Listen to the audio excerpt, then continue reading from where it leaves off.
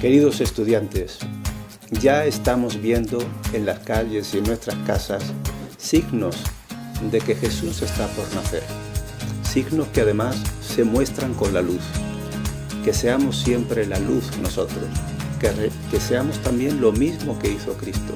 Hacerse luz para iluminar a los demás e incluso unirse con los demás para que también tengan la luz suya.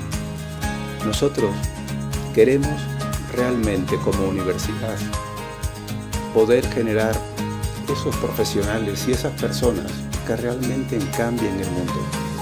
Eso es lo que le estamos pidiendo a ustedes.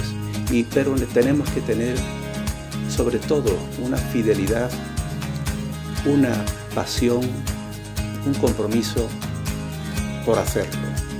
Realmente el mundo ya no es de los más mayores, es de los más jóvenes. Además van a construir un futuro que realmente nosotros no pudimos hacerlo. En ustedes está la confianza. a los profesores les pido que realmente les ayuden a cumplir sus sueños.